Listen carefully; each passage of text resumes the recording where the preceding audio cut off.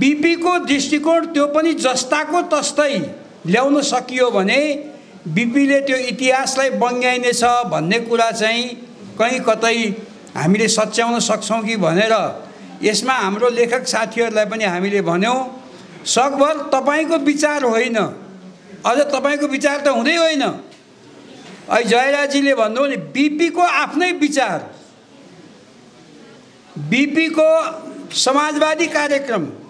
बिपीको आर्थिक कार्यक्रम बिपीको राजनीतिक व्यवस्थाको सन्दर्भमा बिपीले भनेका कुराहरू सबै यो नौ दसवटा विषयहरू जो हामीले लेखेका छौँ त्यसमा बिपीको आफ्नै विचारहरू दिने प्रयास गरेको यसपटक। यस कारणले बिपीले अब झुटो बोल्नु छ भन्न त हामी सक्दैन भन्न हुँदैन तर बिपीलाई फेरि भ्रम पार्ने बिपीलाई ट्विस्ट गर्ने काम चाहिँ हामीले नगरौँ भन्ने एउटा सङ्कल्पका साथ यो पुस्तक निकालेको। अब पुस्तक घटनादेखि पनि तिस वर्षको पञ्चायती व्यवस्था टिक्नु र छयालिस सालको राजनीतिक परिवर्तनदेखिदेखिले अहिलेसम्म जति पनि राजनीति घटाएको निर्णायक घडीहरू निर्णायक मोडहरूमा भारतीय दबाब हस्तक्षेपले कारगर भूमिका खेलेको छ।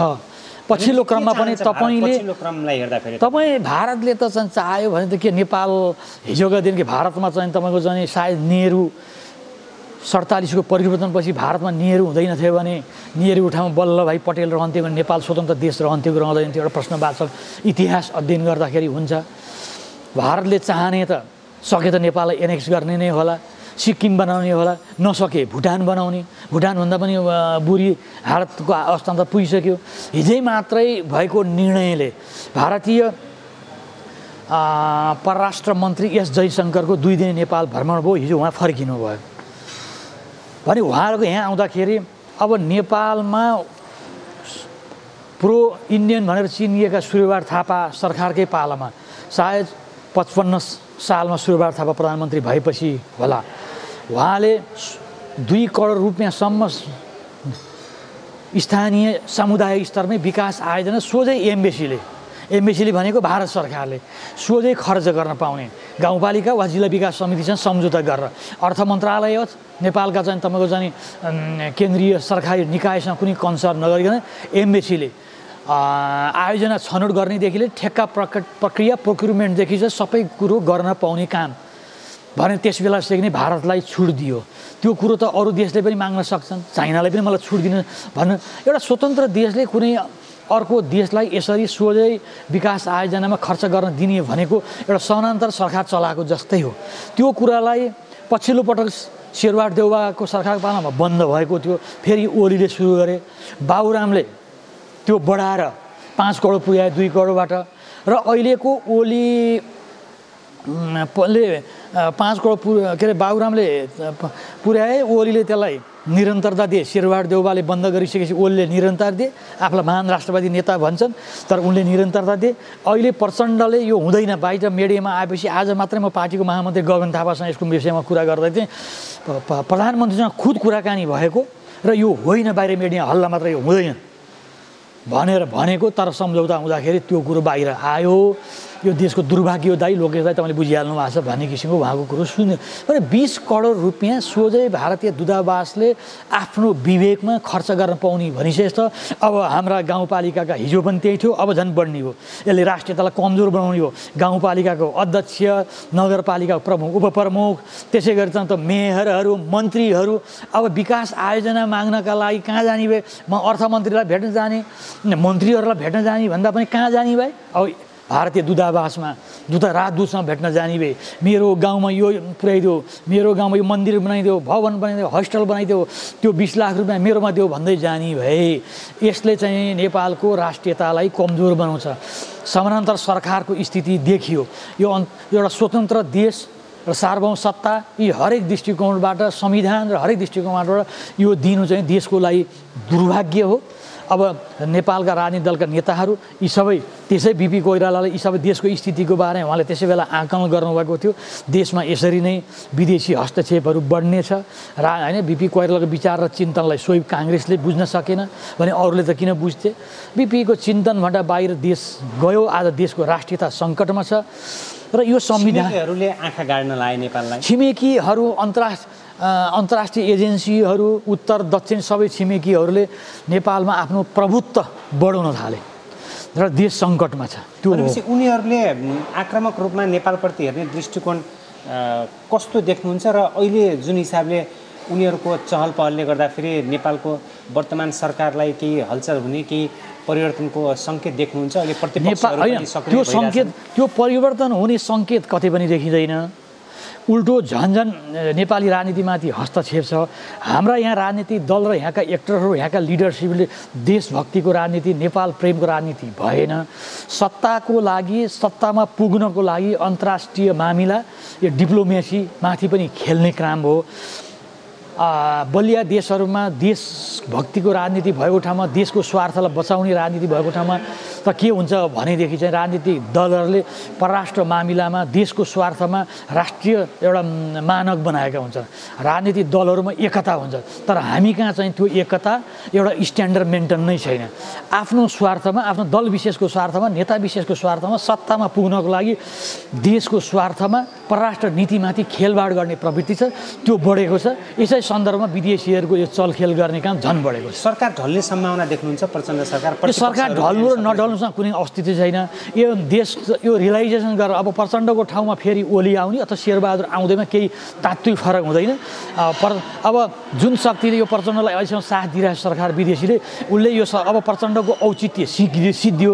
यसबाट लिनुपर्ने कुराहरू हामीले लिइहाल्यौँ। भन्ने उनीहरूलाई लागेको छ भने यो सरकार। बदलिन सक्छ। भनेपछि यो सरकारको मात्र होइन अब व्यवस्थाको क्रम भङ्ग हुन सक्ने सम्भावना देख्नुहुन्छ नेपाली जनताले देशभक्तिको राजनीति गर्न थाले यी सबै कुराहरूलाई रियलाइजेसन गर्न थाले देश र जनता उठे। भने त्यो सम्भावना छ। अब अहिले राजा ज्ञानेन्द्रको पनि सक्रियता देखिन्छ। उहाँको सक्रियताले गर्दाखेरि दलहरू बारम्बार उहाँमाथि आक्रमण गरेको पनि देखिन्छ। ज्ञानेन्द्र त कुरो छोडिदिनु न एउटा दुर्गा प्रसाद उठ्दाखेरि राजनीतिक दलहरू आत्तिएका होइनन्। हामी परिवर्तनका प्रमुख प्रतिपक्षी दल लगायत सत्ता गठबन्धनहरू एक ठाउँमा बसेर हाम्रा परिवर्तनका मुद्दा सङ्कटमा पऱ्यो भनेर उफ्रेका होइनन्। भनेपछि डर त्रास किनभने यिनीहरू मिलिजुलिकन सेटिङमा देश चलाएका छन्। भ्रष्टाचार चरम छ। छयालिस सालको राजनीति परिवर्तनपछि सन्त नेता कृष्ण प्रसाद भट्टराई र मनमोहन अधिकारी समभाव सुशील कोइराला बाहेक कुनै पनि प्रधानमन्त्री ठुला ठुला भ्रष्टाचार नमुछिएका भन्ने छैनन्। भोलि सत्ता परिवर्तन भइदियो भने हामी फस्छौँ भने सबैमा त्राई मान्छन्। त्यस कारणले अब यो यो परिवर्तन यो अहिलेको संविधानलाई जोगाउनलाई अहिलेको राजनीतिक प्रणालीलाई जोगाउनलाई त्यस बेलाका तथाकथित परिवर्तनका शक्तिहरू दलहरू एक ठाउँमा हुने प्रयत्न त गरिरहन्छन्। भनेपछि व्यवस्थाको विकल्प खोज्नुपर्ने सङ्केत जसरी तपाईँले गर्नु भने नेपालमा के राज संस्था फर्किने सम्भावना देख्नुहुन्छ?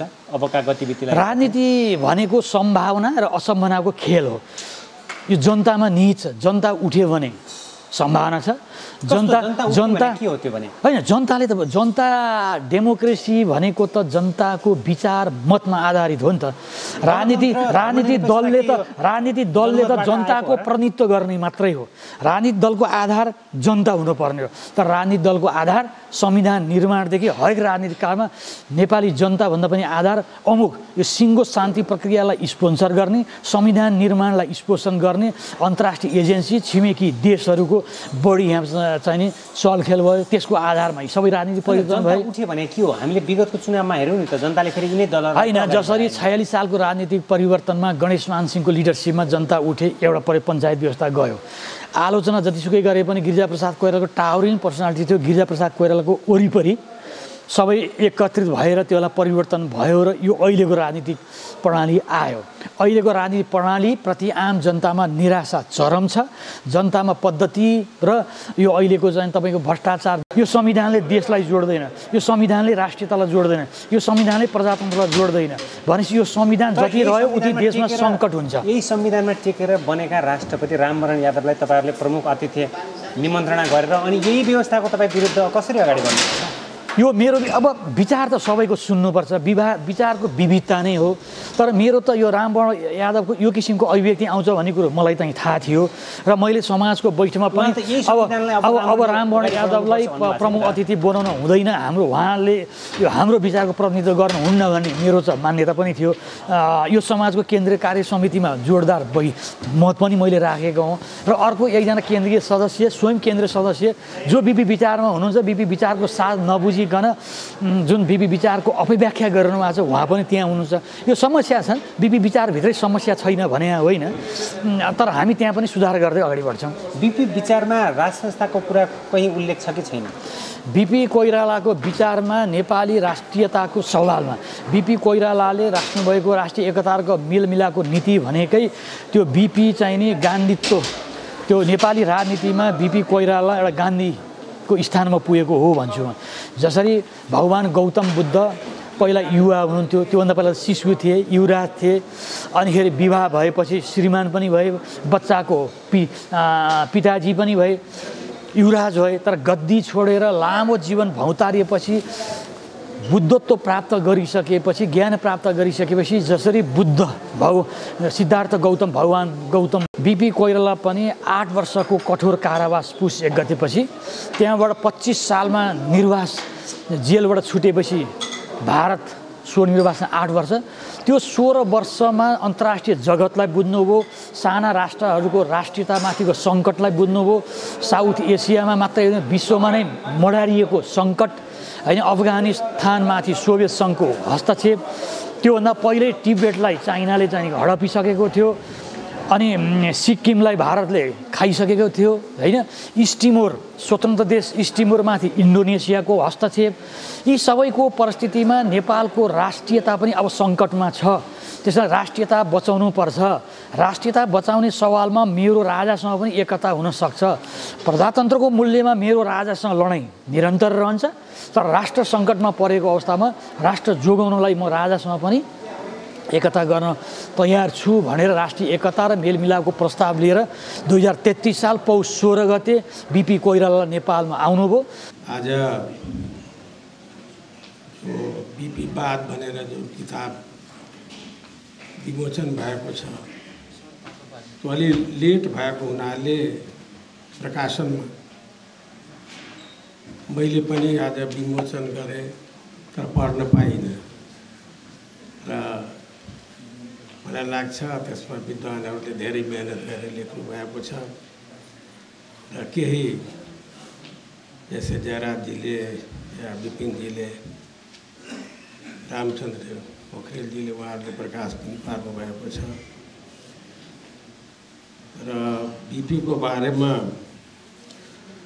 यहाँ धेरै कुराहरू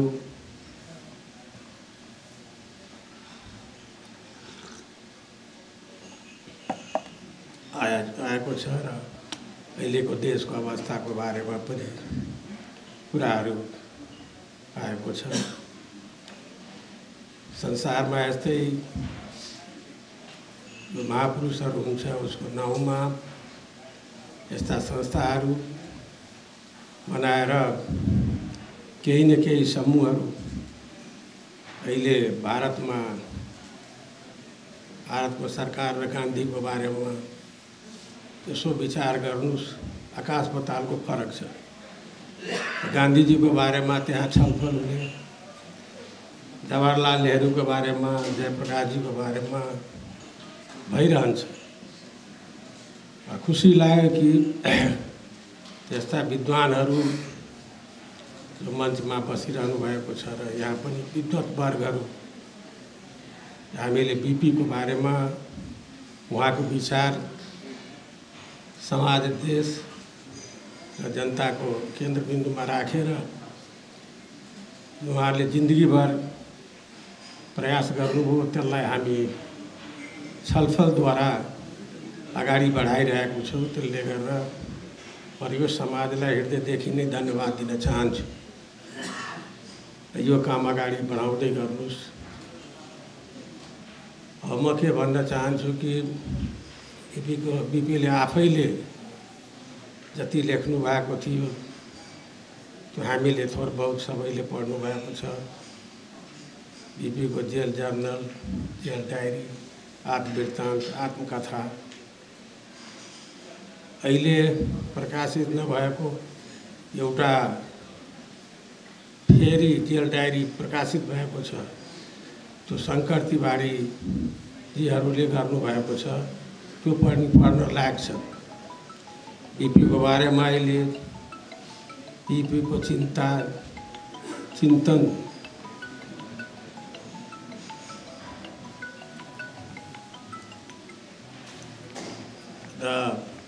प्रजातन्त्र त्यसको बारेमा कृष खनालजीले पनि प्रोफेसर कृष खनालले एउटा किताब चाहिँ उहाँको लिखित प्रकाशन भएको छ। यो सबै पठनीय पुस्तकहरू छ। आज यो पुस्तक त्यही कडीमा बिपीलाई बुझ्नको लागि बिपीको बात बुझ्नको लागि जो प्रकाशन भएको छ त्यसले गर्दा यो खुसीको कुरा हो कि राष्ट्रलाई यो संस्थाले कमसेकम गहन अध्ययन गराएर र बिपीको विचारलाई प्रकाशन गर्नुभएको छ। म यति भन्न चाहन्छु कि बिपीको बारेमा प्रजातन्त्र राष्ट्रियता र समाजवादको बारेमा हामी तपाईँ सबै थोर बहुत बुझ्दै आएको छु। र सारा कुरा अहिलेको राजनीतिसँग जोडेर सम्भव हुँदैन त्यो। बिपीको विचार त अझर अमर छ।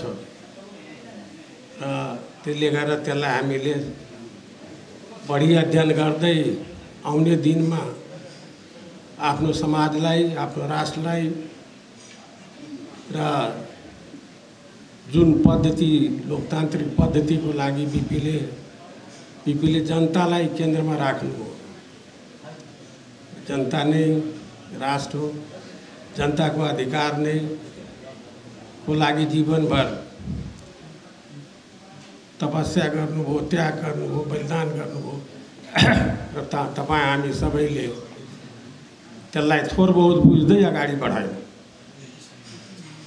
आज केही भएन त्यो म भन्दिनँ।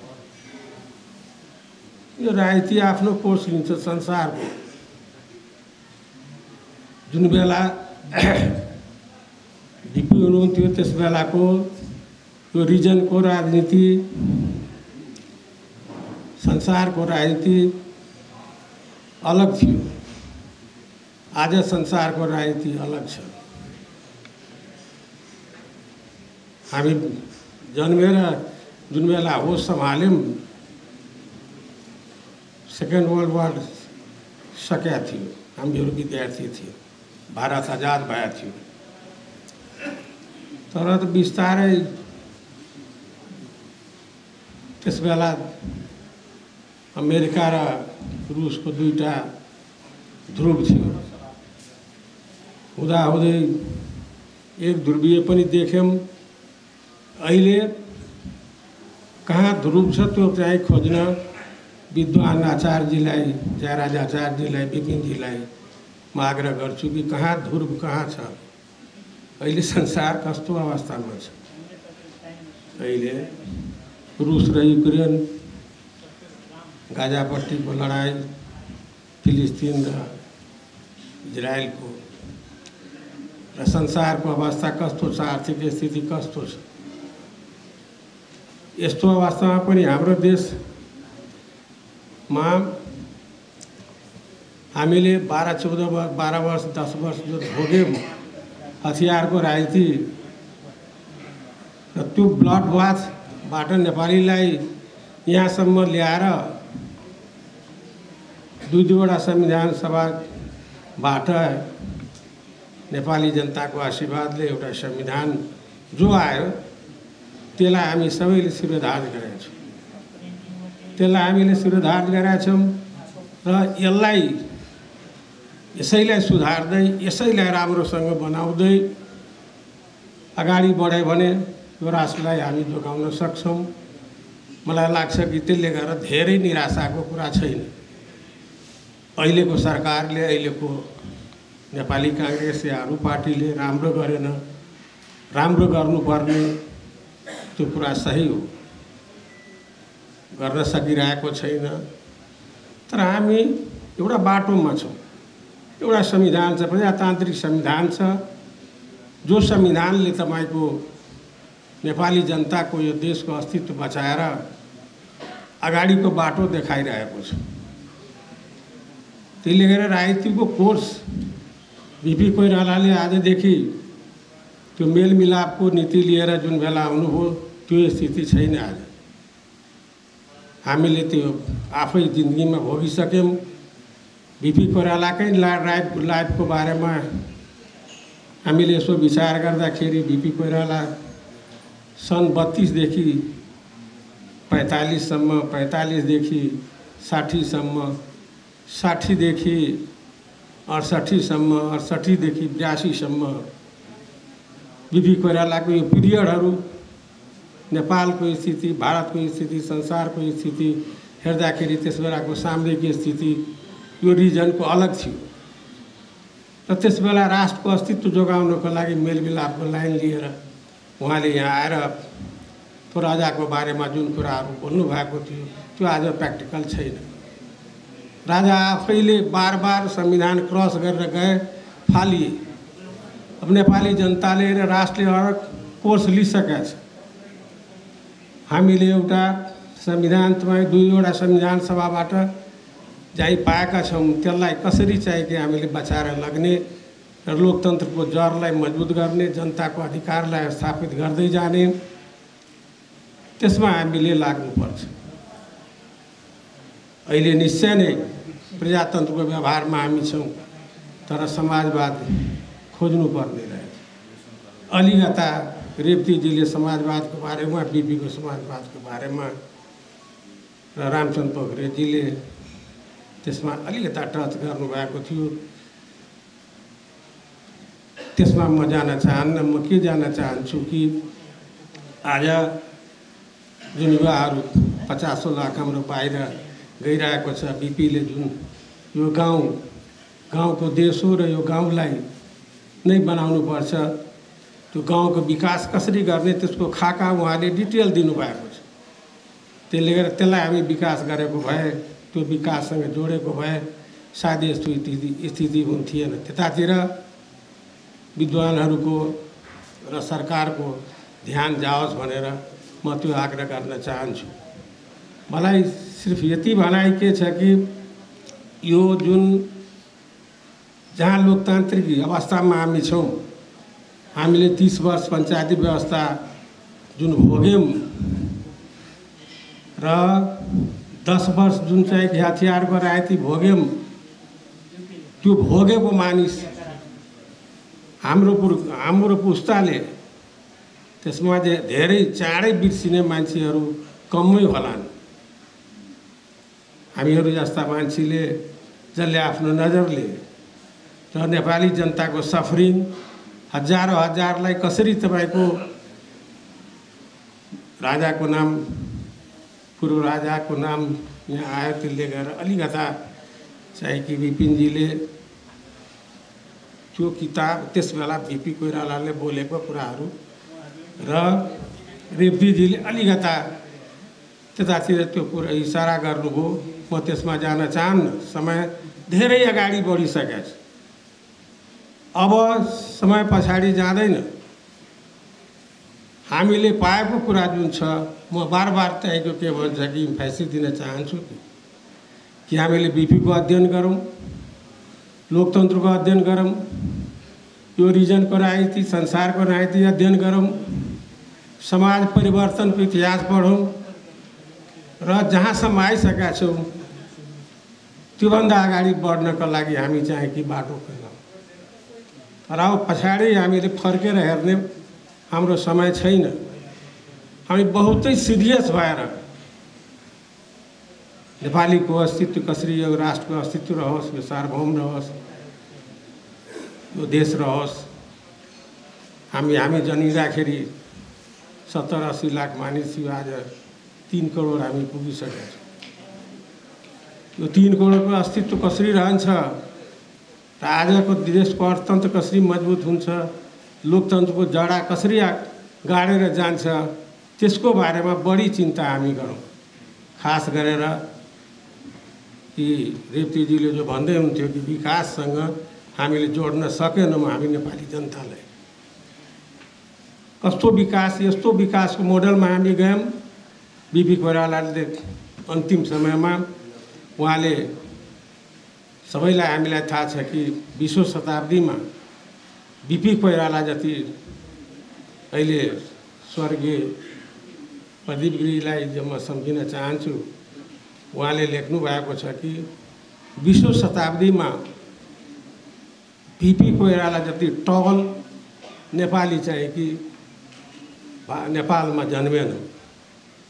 त सबभन्दा टलेस्ट नेपाली चाहिँ बिसौँ शताब्दीका बिपी कोइराला आज एक्काइसौँ शताब्दीमा पनि बिपी कोइरालाको चर्चा र उहाँको लेखेको उहाँले बोलेको हामीले अध्ययन गरिरहेको छौँ त्यो सब हामीले बुझेर आफ्नो राष्ट्रलाई जोगाउने कसरी त्यसमा हामीले बढी फोकस गरेर जानुपर्छ।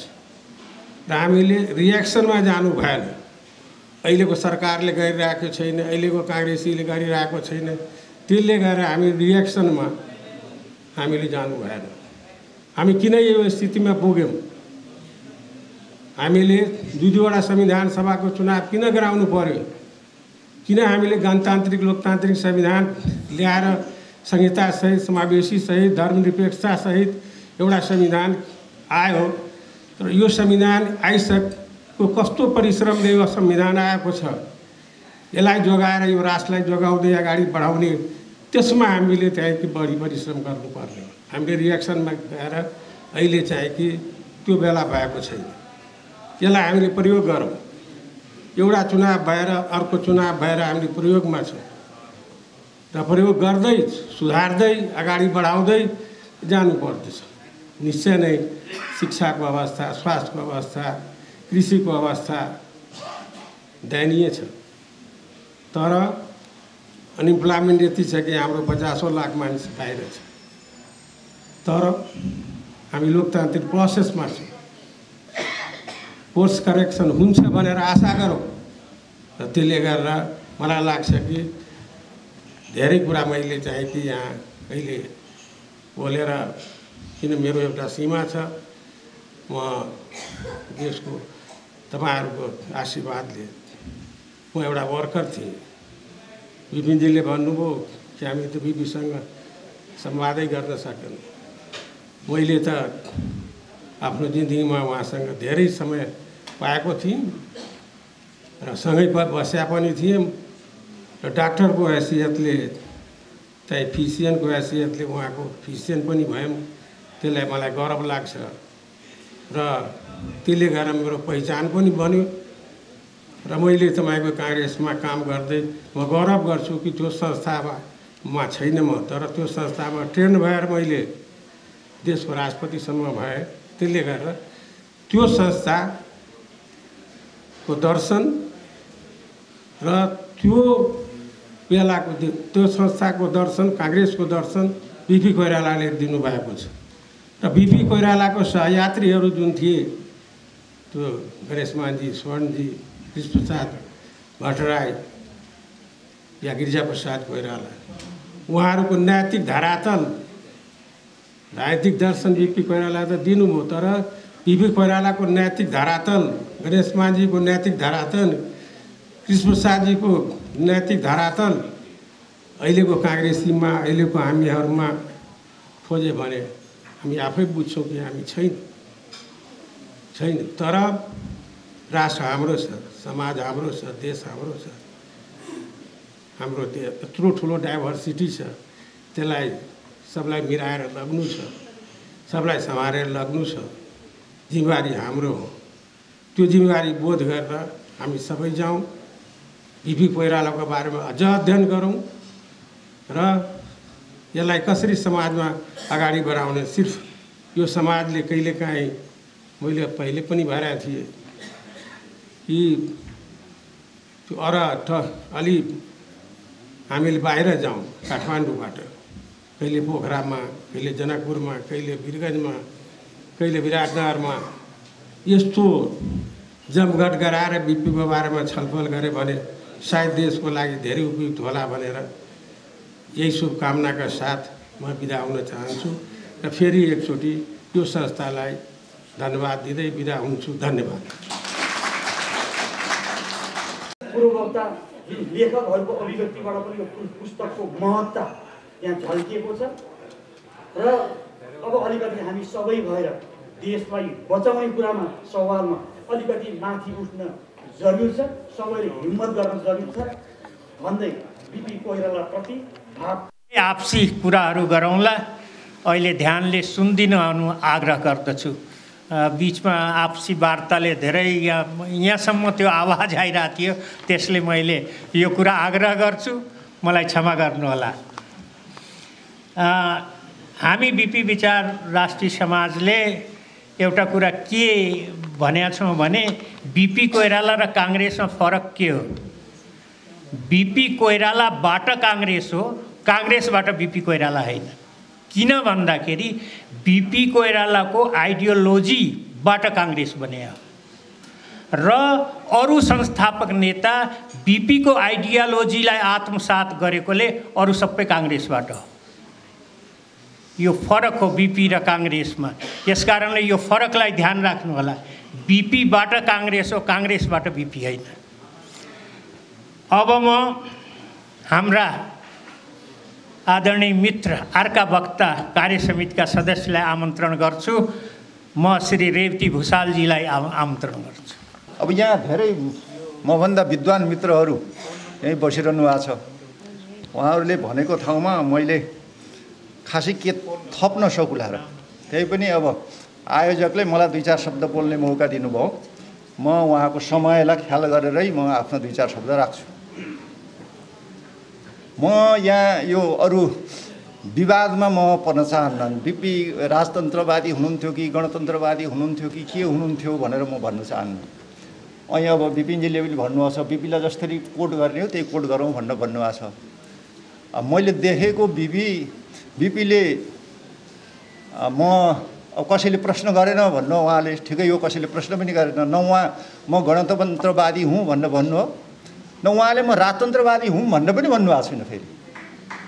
उहाँले राजा तत्कालीन परिस्थितिमा राजा आवश्यक छ है भनेर त्यति भन्नुभएको छ। र अब अहिलेको परिस्थितिमा फेरि यहाँ अब प्रथम राष्ट्रपति भनेर यहाँ हामीले राखिसक्यौँ गणतन्त्रको राष्ट्रपति बनाइसक्यौँ। अब राष्ट्रपति बनाइसकेपछि अहिले फेरि बिपी राजतन्त्रवादी हुनुहुन्थ्यो भनेर भनिसकेपछि अब राजतन्त्र स्थापित गर्दा शाह राजा त उम्किसके नेपालमा पहिला मल्ल थिए उति बेला लडाइँ झगडाले निर्णय हुन्थ्यो। शाहहरूले जिते यहाँ आए।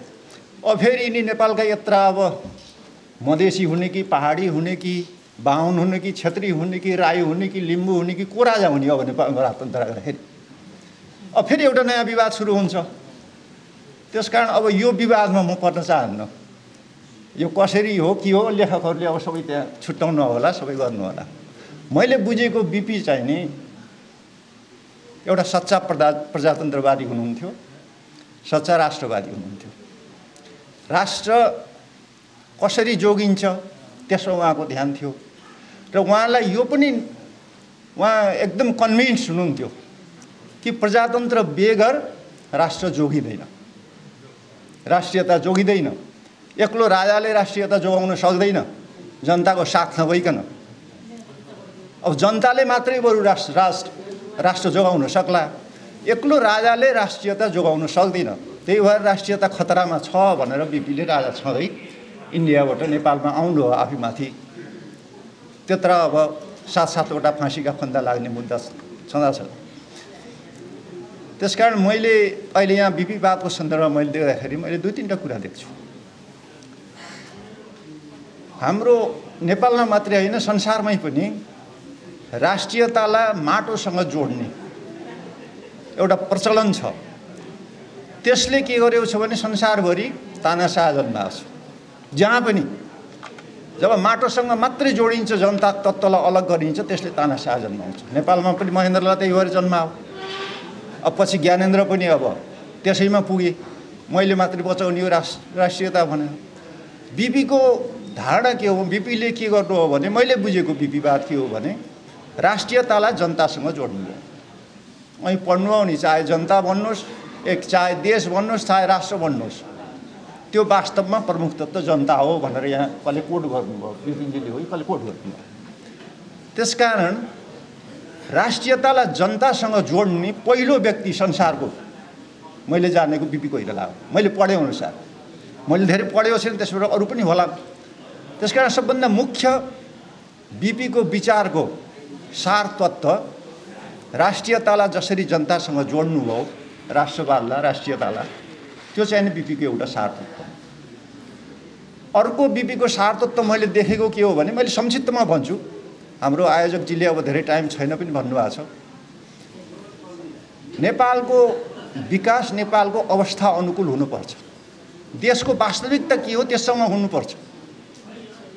नेपालको विकास नेपालको जमिनसँग जोडिनुपर्छ। हामी देखिरहेछौँ नि अहिले।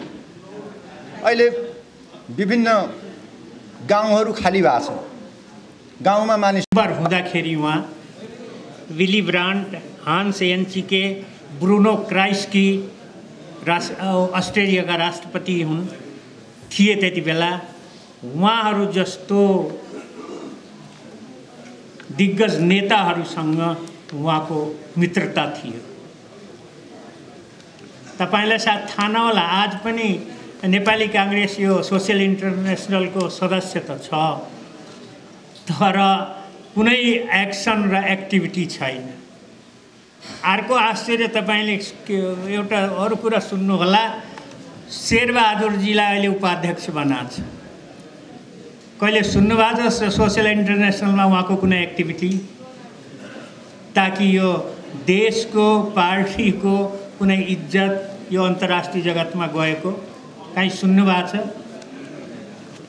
त्यस कारणले त्यस्तो एउटा व्यक्तित्व महान व्यक्तित्व यस देशले जन्माएको थियो जसले यो देशलाई अन्तर्राष्ट्रिय जगतमा परिचित गरायो। ती नेताहरू सोसियल इन्टरेस्टका नेताहरू पनि उहाँको विचारलाई आइडियोलोजीलाई प्राथमिकतामा राख्थे।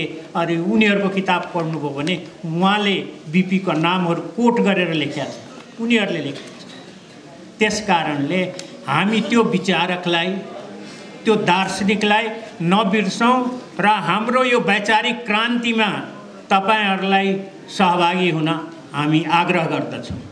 तर एउटा बडा सोच्ने स्थिति के छ भने हामीसँग धेरै मान्छे आए हामीलाई छोडे। के चाहन्छन् भने हामीसँग लागेपछि हामीलाई टिकट मिल्दैन कि हामी राजनीतिक नियुक्तिमा जाँदैनौँ कि हामीलाई कसैले पुज्दैन कि यिनीहरूसँग लागेपछि हामी काहीँ कामका हुँदैनौँ हामीलाई कुनै पद मिल्दैन भन्ने डरले हामीसँग आउँदैन। तर यो विचारलाई बोक्नुहोस्। यो विचारलाई बोकेपछि आउने पुस्ताले यो देशलाई अगाडि बढाओस् भन्ने आग्रहका साथ म यो संस्थाको महासचिव हाम्रा यस सभाका सभापतिलाई मन्तव्यका लागि आमन्त्रित गर्दै र यो समारोहलाई विसर्जन गर्नको लागि आग्रह गर्दै यहाँहरूसँग बिदा लिन्छु। जय नेपाल। यस किताब विमोचन समारोहका प्रमुख अतिथि नेपालका प्रथम राष्ट्रपति आदरणीय रामवरण यादवज्यू र यहाँ उपस्थित हुनुभएका आदरणीय दाजुभाइ दिदीबहिनीहरू। धेरै विद्वान साथीहरूले धेरै कुराहरू भनिसक्नु भएको छ।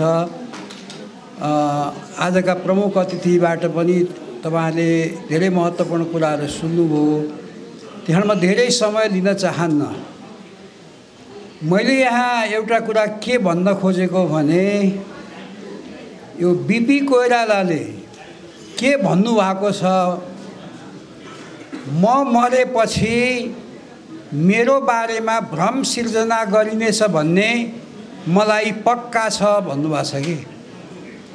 त्यो किन भन्नुभयो? त्यो गणेशराजजीले लेख्नुभएको जेल जर्नलमा त्यो कुरा लेखेको छ। र उहाँले यो पनि भन्नुभएको छ नेपाली काङ्ग्रेसको इतिहास मैले लेख्नुपर्ने थियो। मैले अब सक्दिनँ होला भनेर नसकिकन उहाँको स्वर्गारोहण पनि भयो। भन्दा उहाँलाई के लाग्यो भने उहाँ पछिको पुस्ताले न नेपाली काङ्ग्रेसको इतिहास लेख्न सक्छ न उहाँ पछिको पुस्ताले उहाँको विचारलाई सही प्रस्फुरण गर्न सक्छ। अब यो बिपी कोइरालालाई झुटो भन्ने तागत त ममा छैन। त्यसैले हामीले के गर्यौँ भने बिपी कोइरालाको बारेमा हाम्रो विचार होइन। बिपी कोइराला यस्तो हुनुहुन्थ्यो भनेर मैले भनेर तपाईँले भन्ने कुरा भन्दा पनि बिपी कोइरा यो हामीले यो छैठौँ पब्लिकेसन हो। पाँचवटा किताबहरूमा चाहिँ हामीले बिपीलाई बिपी हामीलाई कस्तो लाग्यो भन्ने लेखहरू लेख्यौँ भने यो पुस्तकमा के गर्न खोजेको भन्दा बिपीको आफ्नै दृष्टिकोण के थियो। बिपीको बारेमा हाम्रो दृष्टिकोण होइन। यसमा धेरै कमजोरीहरू होलान्। यसलाई हामी सेकेन्ड एडिसनदेखि चाहिँ अझै यसलाई परिमार्जन गरेर वास्तवमा जयराजीले भन्नुभयो बिपी नेपालमा मात्र सीमित हुनुहुन्न। वास्तवमा विश्वकै कुनै पनि नेताले बिपीसँग प्रतिस्पर्धा गर्न सक्दैन थियो। अहिले हामीले हेर्दा त्यो महान व्यक्तित्वलाई हामीले अवमूल्यन गरौँ कि जस्तो लाग्यो नेपालले? त्यसैले जब बिपी कोइरालाको जन्म जयन्ती मनाइन छोड्यो नेपालमा नेपाली काङ्ग्रेस पार्टी कार्यालयमा एउटा त्यहाँको कर्मचारी प्रकाश शर्मा भन्ने छ उसले धुप राखिदिन्थ्यो। अनि त्यसपछि त्यही धुपमा माल्यार्पण गर्ने बत्ती बाल्ने काम हुन थालेपछि होइन बिपीप्रति यो अन्याय हो। बिपीलाई हामीले बिर्सिन हुँदैन भनेर यो संस्थाको स्थापना भएको हो र बिपीको विभिन्न पक्षमा हामीले अहिलेसम्म यो गर्दै आएका छौँ र यसमा धेरै कमी कमजोरीहरू होला। तर एउटा कुरा के भनेदेखि बिपीको बारेमा हामीले दिएको दृष्टिकोण काम लाग्दैन के? बिपी यस्तो हुनुहुन्थ्यो। होइन है कसले भन्यो नि बिपीले चाहिँ यो गठबन्धन पनि बिपीकै प्रेरणा हो भनिदियो। त्यो काम लाग्दैन। बिपीले कहाँ के भन्नुभयो? यो पुस्तकमा चाहिँ तपाईँहरू त्यो पाउनुहुन्छ। बिपीले समाजवादको बारेमा हो। इजरायलमा गएर गरेको भाषण जस्ताको तस्तै पढ्दाखेरि अनि बिपीको बारेमा गलत व्याख्या गर्न हामी सक्दैनौँ। त्यस्तै अरू साम्यवादीको बारेमा राजाको बारेमा दक्षिणपन्थी शक्तिहरूको बारेमा बिपीले भनेको कुरालाई चाहिँ यहाँ राख्न खोजिएको त्यसैले म तपाईँहरूलाई के अनुरोध गर्न चाहन्छु भने बिपीको राष्ट्रिय मेलमिलाप बिपीको राष्ट्रिय मेलमिलाप भनेको स्पष्टतया राष्ट्रवादी र प्रजातन्त्रवादीसँगको मेलमिलाप हो। उहाँले भन्नुभएको त्यो कुरा। उहाँको जीवन पर्यन्त राजासँग पनि मेलमिलाप हुन सकेन। किनभने उहाँको दृष्टिकोणमा राजा राष्ट्रवादी हुन्छ तर प्रजातन्त्रवादी भएनन् भन्ने बिपीको दृष्टिकोण हो। त्यसैले उहाँले आफू बाँचिन्जेल राजालाई प्रजातन्त्रवादी बनाउन खोज्नुभयो। सक्नु भएन। बिपी राजावादी भएको भए त राजासँग मेल हुन्थ्यो होला नि त। किन बिपी सत्र सालपछि चाहेको बेलामा प्रधानमन्त्री हुनुहुन्थ्यो? सायद बिपी बाइस साल तेइस सालमै प्रधानमन्त्री भइदिए भए देश धेरै विकास हुन्थ्यो कि किन हुनु भएन? किन हुनु भएन भने उहाँले के भन्नुभयो भन्दा सिद्धान्तलाई छोडेर सत्तालाई प्राथमिकता दिनु भनेको हामी निरर्थक हुनु हो भन्नुभएको छ। अब यो हामीहरूमा कति लागु भयो भएन त्यो अर्को विषय हो। तर बिपीले जहिले पनि सिद्धान्तलाई जोड दिनुभएको छ।